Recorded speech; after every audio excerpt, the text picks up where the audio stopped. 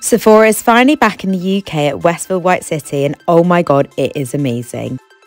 Featuring exclusive brands such as One Size by Patrick Starr, Makeup by Mario, and many more.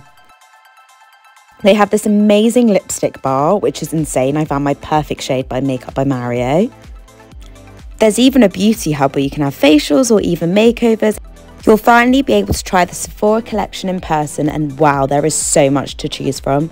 I picked up this vitamin E sheet mask and it's so hydrating. I love Supergoop SPF. They also has many amazing brands we know and love, Drunk Elephant, Hourglass and even Milk Makeup. There's an entire fragrance section where you can douse yourselves before leaving. I smell insane when I left. What are you most excited to try?